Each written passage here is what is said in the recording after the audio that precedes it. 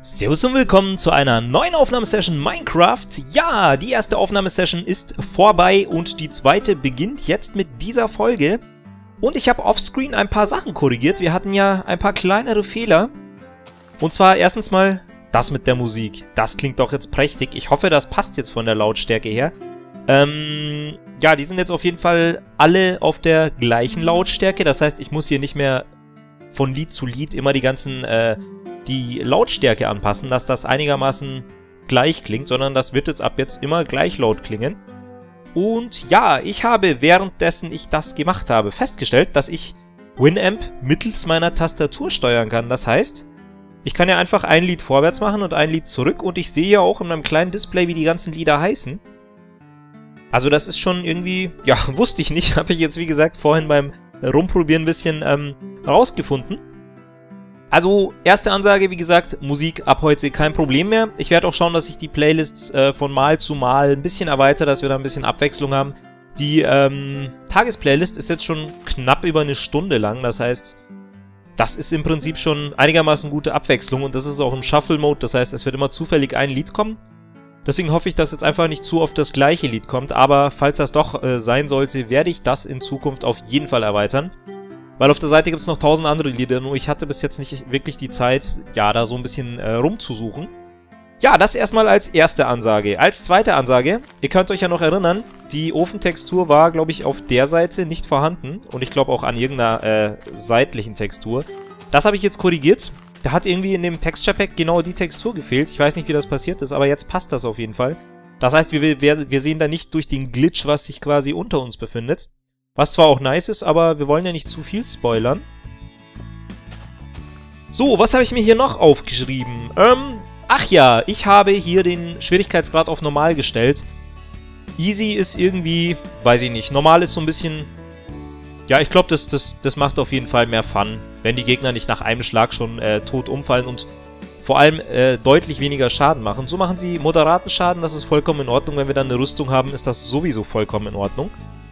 Ähm, genau, das habe ich in World of Warcraft schon erwähnt. Und zwar, ich laufe jetzt einfach mal total blöd rum. Ich würde sagen, wir können derweil eigentlich mal, während ich hier blöd rumlaber, noch ein paar Bäume schlagen. Dafür basteln wir uns jetzt aber nochmal ganz fix eine Axt. Ach, da hatte ich sogar schon Cobblestone, okay. Ähm, einmal hier. Ich habe nämlich noch ein paar kleine Anliegen. So, jetzt einmal Richtung Bäume laufen. Die lassen wir hier noch wachsen. Und wir brauchen auch von beiden Baumtypen welche, also von den normalen und auch hier von den Birken. Das heißt, wir werden da auf jeden Fall noch ein bisschen was hinpflanzen. Ja, was wollte ich erwähnen? Ähm, das habe ich in der World of Warcraft Folge schon erwähnt. Hallo? Endgeil. Ähm, das habe ich in der World of Warcraft Folge schon erwähnt, die auch heute online gekommen ist. Ähm, ich werde wohl in nächster Zeit den Upload-Plan ein wenig umstellen. Jetzt nicht erschrecken, es wird auf jeden Fall weiterhin an jedem Tag äh, jede Folge, also von jedem Spiel eine Folge kommen. Das ist äh, damit nicht gemeint. Nur, dass ich das ähm, jeweils an in verschiedenen Uhrzeiten online stelle. Das heißt, dass ich vielleicht, ja jetzt einfach nur beispielhaft, äh, Minecraft um 14 Uhr freischalte, World of Warcraft um 16 Uhr und Jacked Alliance um 18 Uhr oder sowas. Ähm, und da bin ich im Moment noch bei der Uhrzeitfindung. Ich würde mich freuen, da mir da YouTube leider keinerlei Informationen gibt, ähm, wann würdet ihr gerne die Minecraft-Folge sehen? Soll ich sie äh, lieber nachmittags veröffentlichen oder würdet ihr sie euch gerne abends anschauen? Ich würde das halt, wie gesagt, gerne ein bisschen aufteilen. Im Prinzip, wahrscheinlich schauen es eh nicht die meisten direkt nach dem Upload an, aber ich möchte halt einfach so ein, so ein bisschen, ja, so einen, so einen ähm, festen Upload-Plan haben, dass ich nicht alle Videos um 14 Uhr freischalte, weil das ist das ist irgendwie blöd, weiß nicht. Und dementsprechend ähm, würde ich mich freuen, wenn ihr in die Kommentare schreiben würdet, wann es euch am liebsten wäre. Also nachmittags, abends, nachts. Nachts wahrscheinlich eher nicht, aber dass wir da halt so ein, so ein bisschen einen Überblick haben und ich mich danach richten kann. In World of Warcraft habe ich das, wie gesagt, auch schon gefragt. Da werde ich dann ja auch mal gucken, was da so in Anführungsstrichen im Voting rauskommt. Einfach mal die Kommentare ein bisschen auswerten und dann ähm, schauen wir mal. Und ja, wie gesagt, sagt mir einfach, äh, wann es für euch am liebsten wäre. Direkt nach der Schule oder abends nach der Arbeit. Ich weiß, wie gesagt, auch nicht, wer hier alles zuschaut. Das wird sich aber, glaube ich, erst mit der Zeit ergeben, dass ich da so einen groben Überblick habe. Ähm, Ja, wie gesagt, schreibt es bitte in die Kommentare. Das würde mich erstmal interessieren und würde mir auch dabei behilflich sein, meinen Upload-Plan ein bisschen zusammenzustellen. Und was habe ich mir hier noch aufgeschrieben? Ähm, ja, und zwar, ich habe ja bisher nicht allzu viele Mods drin. So 20 Mods will ich eigentlich auch nicht haben, aber so ein bisschen mehr Mods wären auf jeden Fall geil. Also, wenn ihr irgendwelche Mods habt, die ihr gerne bei mir sehen würdet, dann schreibt das bitte auch in die Kommentare. Dann werde ich das mal auswerten, mal gucken, was da so gewünscht wird und ja, dementsprechend eventuell dann doch die Mods ein bisschen erweitern, weil im Moment sind es ja nur ähm, Reis Minimap hier rechts oben und Optifine, gut, das ist aber Standard, das ist jetzt äh, eher so ein Tweak als ein Mod.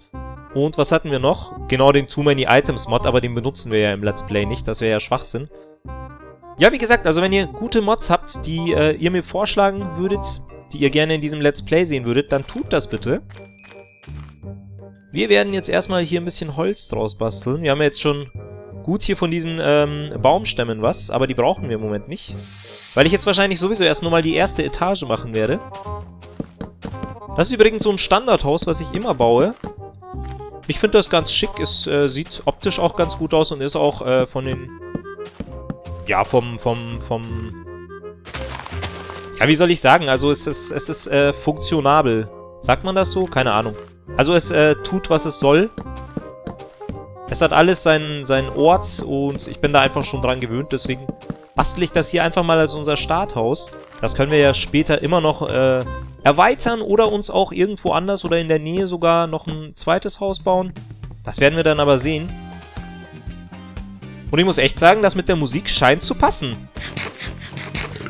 Mir dröhnt weder aufs Ohr, noch muss ich irgendwie denken, dass es zu leise ist oder sowas. Also das scheint wirklich im Moment gut zu passen. Da bin ich jetzt gerade echt ein bisschen happy, dass das so gut geklappt hat. Das ging auch ziemlich easy. Ähm, da habe ich ein bisschen gegoogelt, habe ich so ein Programm gefunden, das hieß MP3 Gain. Und da hat man einfach den ganzen Ordner mit der Musik reingeladen und hat eingegeben, ja, auf wie viel äh, das normalisiert werden soll. Und dann hat er das gemacht. Also das ist wirklich kinderleicht, da kann man kaum was falsch machen. Qualitätsverlust gab es absolut keinen. Bei der Lautstärkeanpassung kann ich da... Achso, da ist eine Fackel, alles klar. Ähm, wie gesagt, es gab keinerlei Qualitätsverlust, was für mich ja eines der wichtigsten äh, Dinge ist, dass die Qualität stimmt und dass es da keinerlei Verluste gibt. Ich bin ja ein absoluter Qualitätsfetischist. Und da meine, da ich mit meiner Audioqualität eh nicht so mega zufrieden bin, möchte ich halt zumindest das, wo ich äh, im Moment die beste Quali liefern kann, äh, ja, da auf jeden Fall das Beste geben. Zum Thema Mikrofon, das hatte ich, glaube ich, ähm, wo hatte ich das erwähnt? Ich glaube in dem, äh, in dem Infovideo, was ich nach dem Zeige dein Let's Play von Saraza aufgenommen habe. Ähm, mikrofontechnisch. Ich benutze ja immer noch mein Headset-Mikrofon und ich werde mir jetzt wohl bald so einen Großmembraner holen. Vorerst mal nicht so ein ganz so teures, da habe ich im Moment äh, ein T-Bone im Auge. Die kosten je nach Modell zwischen 100 und 120 Euro. Das ist absolut noch im Rahmen. Und äh, damit dürfte die Qualität auf jeden Fall schon mal drastisch steigen. Also das ist im Vergleich zum Headset hier, das ist wie Tag und Nacht, absolut. Und dadurch äh, wird meine Stimme, denke ich, auch ein bisschen... Ja, ich sag mal, die, die, die Tiefen werden damit gut verstärkt. Das heißt, da ich eh eine tiefe Stimme habe, dürfte da meine Stimme auf jeden Fall besser zur Geltung kommen. Ähm, das werde ich in den nächsten zwei, drei Wochen wahrscheinlich nachrüsten. Also da könnt ihr euch schon mal drauf freuen. Das heißt, die äh, Stimmqualität, die wird auch deutlich besser werden, als es jetzt schon ist. Und ja. Ansonsten, wie gesagt, basteln wir jetzt erstmal hier in unserem Häuschen rum. Ich bin jetzt nur am überlegen, normalerweise ist der ist das Lager bei mir immer im Keller, aber dadurch, dass wir das jetzt hier an den Berg anbauen, könnte man das Lager auch hier hinten hin basteln. Oder hier hinten. Das wird, glaube ich, eher passen, weil wir in die Richtung mehr Platz haben. Da können wir auch mal ganz kurz gucken. So, mal schauen. Oh, meine Maus stört gerade ein bisschen. Kleinen Moment. Na, so, jetzt scheint es zu passen. Ähm, wir haben ja hier nach links ziemlich viel Platz. Das heißt, wenn wir da hier in den äh, Berg reinbauen könnten, dann könnten wir das Lager auch im Erdgeschoss behalten. Das wäre, glaube ich, gar nicht übel. Das wäre jetzt ungefähr diese Höhe hier, so nach hinten. Also ein richtig großes Lager. Und das wird auch genauso ausschauen wie in dem einen ähm, Lagervideo, was ich auf meinem Kanal habe. Und ja, deswegen bin ich gerade am überlegen, ob wir das Lager wirklich hier überirdisch machen sollen. Normal geht hier so eine Treppe runter bei mir, wo es dann halt unten, unten so ein großes Lager gibt, aber das würde gar nicht mal so schlecht passen, glaube ich. Wir müssen halt hier unten alles ausfüllen. Wegen diesem kleinen Teich. Vielleicht können wir den auch irgendwie optisch äh, mit in den mit ins Lager einbauen. Ich weiß es nicht. Müssen wir mal gucken. So ein kleiner Teich im Lager, das äh, wird eventuell auch gut ausschauen. Müssen wir uns mal überlegen. Müssen wir uns überlegen. Das können wir ja dann immer noch ändern. So. Musik, wie schaut's aus? Ja, wunderbar, das scheint zu klappen. Jetzt brauchen wir ein bisschen Birken. Wo haben wir die Birken? Hm, so viel Birken haben wir nicht. Da müssen wir auf jeden Fall mal gucken, dass wir da ein bisschen... bisschen mehr davon bekommen. Jetzt müssen wir mal gucken. Hm, ist das ein Unterschied? Also bei, bei meine Kraft sah das schon deutlich anders aus. Ja, das ist ein bisschen heller. Ich kann das mal ganz kurz umstellen. Ich glaube, das hat keinen Einfluss auf die, auf die Aufnahme. Das finde ich übrigens geil am Optifine-Mod, dass man, während man im Spiel ist, ähm, das Texture, Texture Pack wechseln kann. Genau, back to game. Ähm, in meine Kraft würde das so aussehen und das finde ich eigentlich gar nicht mal so, so unnice. Eventuell, ja, werde ich das, ähm, ich weiß nicht, ob ich das von Honeyball aus darf. Ich muss mir da mal ihre Einschränkungen vom Texture Pack, hoppala, vom Texture Pack durchlesen und mich da mal ein bisschen informieren, wie das ausschaut, wenn man da Teile von ihrem Texture Pack verwenden möchte. Ich weiß nur, dass ich zum Download auf jeden Fall nicht zur Verfügung stellen darf, aber das werde ich auch nicht machen. Beziehungsweise werde ich mich da auf jeden Fall nochmal... Alter. Werde ich mich da auf jeden Fall nochmal mit ihr in Verbindung setzen. Wenn sie mir antwortet, ich weiß es nicht. Ähm, falls ich doch irgendwann mal wirklich mein eigenes Texture Pack mehr oder weniger zusammenstelle, ähm, ob ich das irgendwo zum Download anbieten kann. Aber, ja, keine Ahnung. Also wie gesagt, die Textur hier für die, für die Planken, die man aus Birkenholz bekommt, finde ich eigentlich, ja, eigentlich ganz hübsch im Vergleich zu dem hier außen. Eventuell sogar das Holz hier übernehmen für dieses äh, Sortex, oder wie das hieß, für das andere Texture Pack, was wir drin hatten. Gut, ich würde sagen, wir schalten jetzt ähm, wieder mal hier rüber. Aber, wie gesagt, da werde ich mich auf jeden Fall nochmal drum kümmern. Und mal gucken. Vielleicht baue ich, wie gesagt, das äh, Holzplanken technisch mal hier in das Sortex ein. Ich weiß auch nicht, ob ich das Sortex verändern darf. Muss ich mich auf jeden Fall mal, ähm, ja, informieren. Das ist ein bisschen heller, gell? Ich weiß nicht, ob man das in der fertigen YouTube-Aufnahme sieht. Aber ich lasse das jetzt einfach mal so. Ähm, wie gesagt, ich würde das gerne umstellen. Aber jetzt sehe ich den Unterschied nicht. Das ist, glaube ich, heller, gell? Ja. Ich glaube, das ist es. Wenn nicht, dann ähm, werden wir das sehen, wenn wir mal zwischenzeitlich wieder auf äh, meine Kraft umschalten. Und falls ihr irgendein geiles Texture-Pack kennt, könnt ihr mir das gerne auch zukommen lassen. Also über die Kommentare. Oder über einfach eine PN. Äh, würde mich auf jeden Fall interessieren. Vielleicht gibt es ja noch schönere Texture Packs. Weiß ich nicht. Jetzt kommen wir da aber nicht mehr hoch, gell? Ach, Sinan, ach, Sinan, ach, Sinan.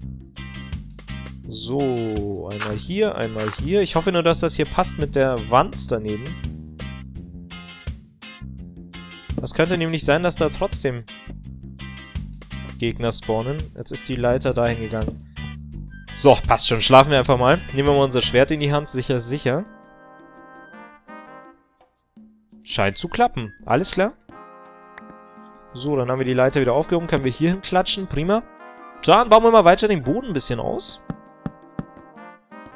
Und danach wird es, denke ich, auch äh, ins Lager gehen. Dass wir zumindest schon mal für das äh, Gröbste an Items, zum Beispiel Erde, Cobblestones und Holz, eigene Truhen haben dass wir da so, so, so ein bisschen Ordnung drin haben. Ich bin da ein absoluter Ordnungsfetischist, das werdet ihr noch sehen. Früh genug. Also bei, bei mir muss alles äh, symmetrisch, also noch, noch krasser als bei, bei anderen bekannten Let's Playern. Ähm, das muss absolut symmetrisch sein alles. Auch beim Haus hier, das sieht man ja. Ich mag das nicht, wenn das irgendwie optisch in irgendeine Richtung verzogen ist oder so. Hier müssen wir übrigens auch noch äh, eine Dingsschicht abtragen, eine Erdschicht, dass das Haus nicht ganz so in der Grube versinkt. Wobei wir das eigentlich noch nicht jetzt machen müssen, aber ich äh, nehme mir einfach mal diese drei Reihen hier weg. Dann sollte das schon passen. Das ist nämlich auch, weiß ich nicht, dass wir hier so einen äh, einstufigen Ab Abst äh, Aufstieg zur Wüste haben. Das wäre jetzt erstmal mein Plan, aber das äh, werden wir dann schon sehen. Dass wir hier eventuell noch eine schöne Straße machen. Da vorne wollten wir ja noch eine Brücke über diese Minischlucht machen. Dass wir da eventuell da hinten noch irgendwas hinbauen. Also, wir haben tausend Möglichkeiten und die werden wir natürlich auch, ähm, ja, nutzen.